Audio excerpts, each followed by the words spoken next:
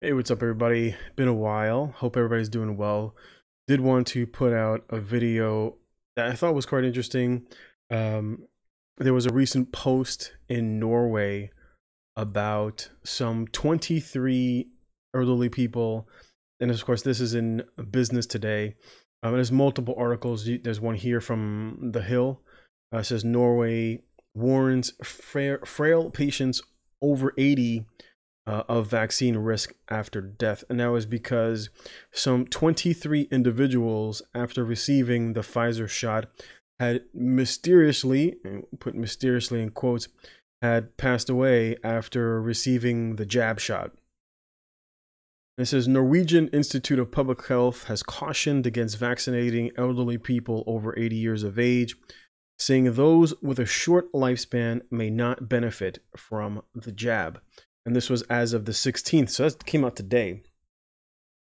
And so here in America, a lot of elderly people are basically, you know, up in arms, you know, family members with their pitchforks in hand saying, we need that vaccine, you know, for our for our moms and for our grandmothers. You may want to think twice about being so hasty with the lives of your elders. And of course, Norway, of course, is investigating to see if uh, the jab was responsible. It's really interesting because I've asked numerous times, you know, the the vaccine does not give you neither the live virus nor does it give you uh, part of the dead virus, right? So that your body then mounts an immune response as a result of coming in contact with the proteins. But instead, it injects messenger RNA uh, which is just basically like a computer program that basically goes off in your body and then it creates a protein, right? It creates a protein and this protein is then what elicits a immune response. And many of my colleagues who have taken the vaccine have all had um, side effects, right? Everybody has had, you know, obviously the pain at the injection site. Some have had fevers and, of course, basically general body aches, malaise, uh, which is indicative of uh, your body basically having an immune response. But if you're not receiving, if you're not receiving the live virus and you're not receiving part of the dead virus, I often do wonder how the body, of course, is then having a reaction as if you're coming in contact with the disease. Uh, because you're not. According to them, you're not. It's not giving you the disease. According to Pfizer, it's not giving you the disease in any way, shape, or form.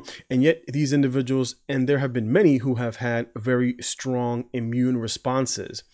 And as a result, some have even lost their life. There was another article here coming out of the New York Times it says doctor's death after vaccine is being investigated. As a physician in Florida developed an unusual blood disorder, and basically, um, the disorder that he developed was all his platelets just disappeared. His platelets just they were like, you seen his platelets? I have no idea where they went. He the doctor literally lost all of his platelets says health authorities are investigating the case of a Florida doctor who died from an unusually severe blood disorder 16 days after receiving the Pfizer jab.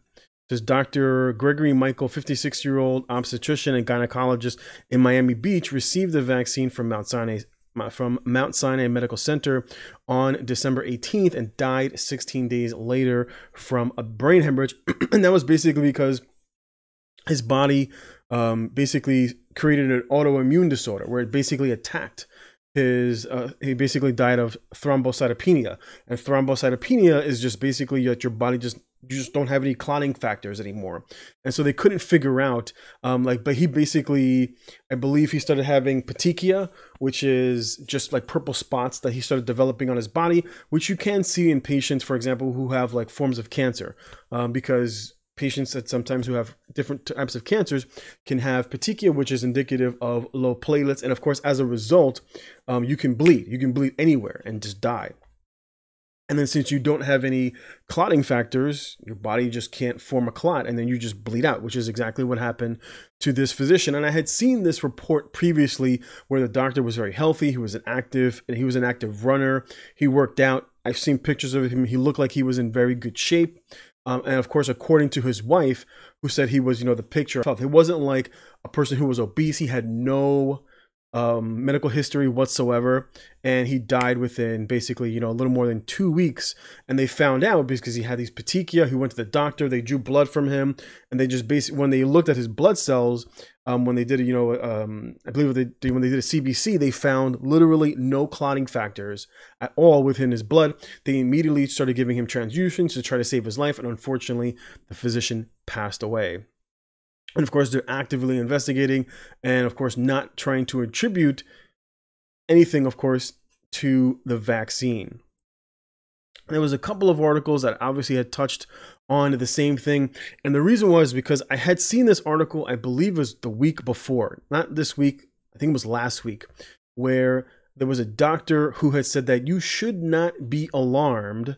And the person is Dr. Kelly Moore, who had said that people should not be unnecessarily alarmed if there are reports once we start vaccinating uh, basically the elderly, right? So if the elderly stop dro- start dropping dead, um, this doctor, Dr. Kelly Moore, said, don't be alarmed. And I would be like, well, that would be something that you would want the public to be alarmed, right? If you're if you know that your elderly patients are prone to having adverse reactions as a result of the vaccine, well, this would be information as a medical practitioner that you would want the public to know. And of course, this sort of information really isn't um, talked about in the mainstream media, and for obvious reasons, because, well, we're not going to go into that in this video. I'm trying not to get myself with another strike. And so this is actually something that individuals should be informed, right? When you when you give someone a medication, it's the physician or the nurse's responsibility to inform the person, right? Because before the person can sign a consent form stating, yes, I consent to you giving me this medication, they have to be informed, right? And so, of course, it would be irresponsible of any practitioner to, of course, not relate these sort this sort of information to many individuals. According to the CDC website, I believe there was just about over 100,000 people who had recently been vaccinated, and 3% of them had some form of an adverse reaction, which is actually quite high. And of course, an adverse reaction, according to the CDC, was anything that required some sort of medical intervention, right? So most of these individuals had an anaphylactic experience, right? Where the person either developed low blood pressure, they developed a rash. Anaphylaxis can, of course, um, impede the airway, where the airway becomes uh, constricted, and of course the person has to be given like Benadryl. Um, you can either give it Benadryl, or you or you're going to be giving um, it via IV, so that the so that the anaphylaxis can basically go away. And that's why many of these individuals who get vaccinated are required, or at least strongly recommended, to stay within the vicinity. Typically, they have you sit down in a chair for 15 minutes all the way up to 30 minutes because many individuals have had um, basically you know uh, immune responses that are of course quite quite prominent when it comes to um, typically, like I said, you might have some pain in the injection site because it is an intramuscular medication. You are injecting into the muscle, so of course you're going to have some sort of tenderness at the site. That's just that's typically normal. You might have um, you might feel like you might have like a low grade fever. You could feel what is referred to as malaise, which is just a general body a fatigue, um, etc. Right? You have a very mild form, but many individuals have had anaphylactic uh, responses, which is entirely different, which is typically usually very rare. And usually it's with the individuals who already have some sort of a um, history of some uh, allergies, right? So maybe the person is like, for example, strawberries. Strawberries, dairy are typically things that, from like a nursing's perspective, that we would ask the patients, you know, do you, are you allergic to um, strawberries or things of that nature? Because you will more than likely have a reaction to, uh, you more than likely have some sort of a anaphylactic reaction. Now, in the hospital, I can tell you from my experience that individuals who have said that they have a history of allergies are then being told, well, there's nothing in the vaccine that would cause you to have an adverse reaction. So then the question is, why are so many people having an adverse reaction, right? So if because that's basically what um, that's basically what I've been told at the hospital that I work at. You know, they're every single day. Um, there's emails that are sent out on information about the vaccine. Um, and basically every single day because the vaccine has to be thawed before it's administered. And then of course, if it if it doesn't get administered within a timely fashion, it basically spoils it and you can't give it. And so every single day, multiple times, you know, on the night shift, we will hear overhead anybody who wants the vaccine to come to this floor, etc., to receive the vaccine.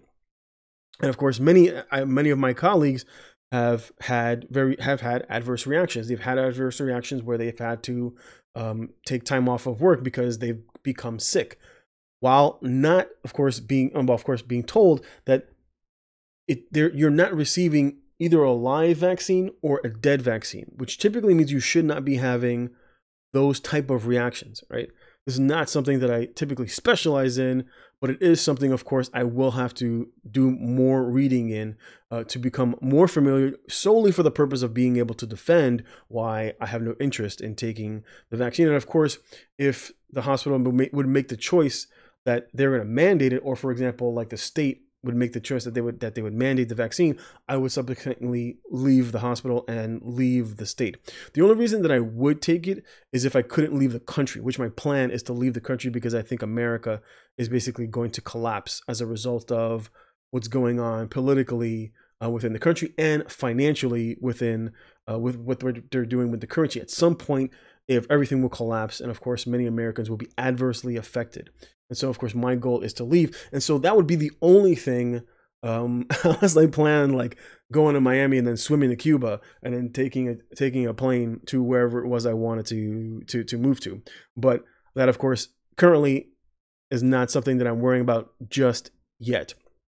Although there is talks, of course, of about you know passports, you know, the the vaccine passports where you'll have to show some sort of identica- identification uh, on certain airlines that I've seen so far. Not all of them. I'm hoping that is not going to be the case because, of course, I would really not want to try to take this uh, vaccine just because of the stuff that I have read. Typically, with a vaccine, it's usually about a minimum of five years before a vaccine is basically given to the public. This was given within a very short time frame, especially the one um, that is produced by Moderna. Um, after supposedly they had um, basically spliced the DNA of the of the virus two weeks after the, you know they did like a genome project two weeks after they had basically known the genetics of the virus that they were like oh we've already got a vaccine two weeks. It was like a weekend after afterwards, and this is easily verifiable. You can look this up. I, I posted this on my Twitter account previously. Um, so this is, of course, you know something that probably most individuals are not aware of, and of course, even though individuals do receive the vaccine, even in the pamphlets, because I've read the I've read the Pfizer pamphlet, and it even says within the pamphlet that, of course, it doesn't give you the vaccine. It doesn't give you um, the, the, the you know it doesn't give you the disease uh, because they can't. That's not how they. That's not what they did with this particular uh, vaccine, um, and they're not sure if it will even give you the immunity that you're looking for. Right. Um, that's why there was a nurse, you know, who got you know the virus about eight weeks or so after they had received the uh, the vaccine. There was like an ER nurse, I forget where, but I remember reading this. There was like an ER nurse that got the disease, you know, not long after uh, receiving the uh, the vaccine. And so the the excuse was one, it's not 100%, right? No vaccine is, even the flu is not. And of course, the other line of logic was, well, he he didn't have enough time for his body to mount an immune response, which is ridiculous because the moment it enters into your body and your body has an immune response, it starts to build up antibodies. At least that's typically how it works when you take like the flu, or when you or when you naturally have uh, when you go through any other, other other virus where your body will then subsequently produce antibodies. But again, I am not a specialist in these things. I'm just a nurse So this is, of course, this is all information that I have to, of course, do research on. And I try to do as much research on this particular topic. Um, one, so that I'm informed. Two, so that I can form inform my colleagues because many of my colleagues are not informed at all. We really don't get a lot of quality information. We get regurgitated information that is basically given on the pamphlet, right? Um, and so people should be asking more questions and not be so hasty to inject themselves with something that they may have a very adverse effect. Like, for example, these elderly people who subsequently lost their lives not long after, of course, being vaccinated.